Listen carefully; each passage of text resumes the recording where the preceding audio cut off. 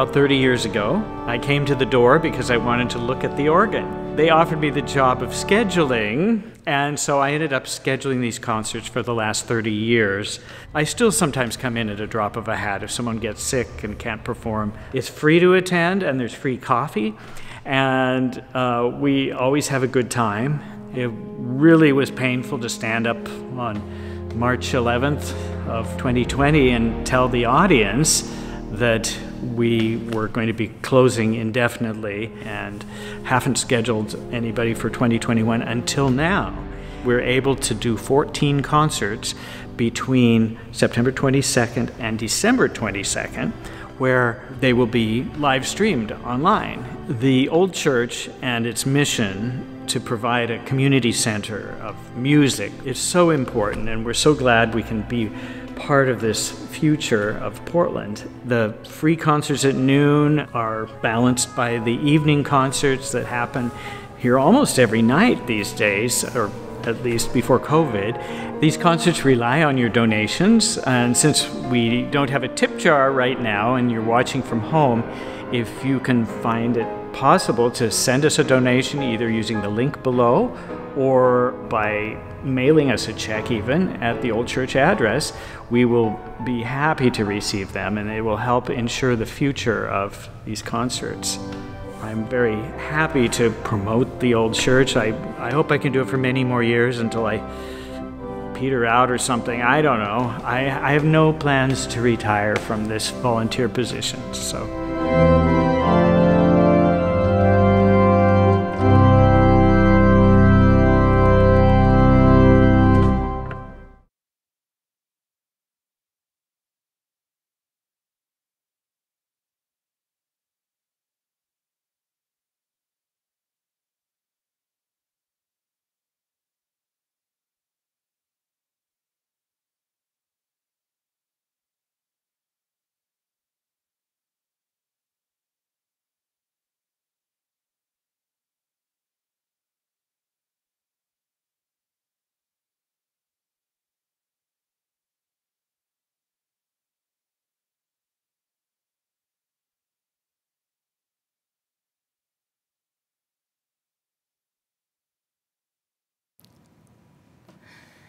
Hello, and welcome to this concert from the Old Church in Portland, Oregon.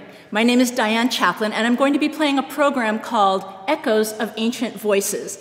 The five works on this concert are all things that are inspired by music of an earlier time. The first work is written by a cellist and composer named Michal Stahel. He lives in Slovakia, and he wrote this piece in 2012. He is primarily a Baroque cellist, meaning that he plays on an instrument similar to this one that is set up in a Baroque mode. And in fact, my cello is almost 300 years old. So it started out its life as a Baroque cello, but now it's set up with steel strings and an end pin and some other modifications that make it sound bright and loud for the modern concert audience. Um, because Michal Stahel plays a Baroque cello, much of the music that he writes is in a sort of imitation Baroque style, if you will. So I think you'll find most of this piece sounds very much like it was written 300 years ago, except for the little places where it doesn't. This is Song of Solitude by Michal Stahel.